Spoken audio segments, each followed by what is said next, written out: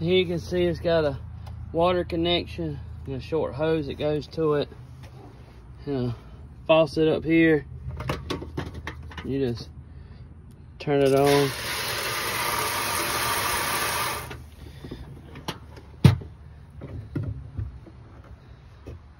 She can hang her tools up here. And we uh we planted a star hibiscus beside it that'll kind of fill in this area. And uh, we put cardboard down at all this and we put some flagstone down right here for to step on and to stand on. I think it turned out pretty good. Been working on this for a while. Finally got it done. Appreciate y'all watching.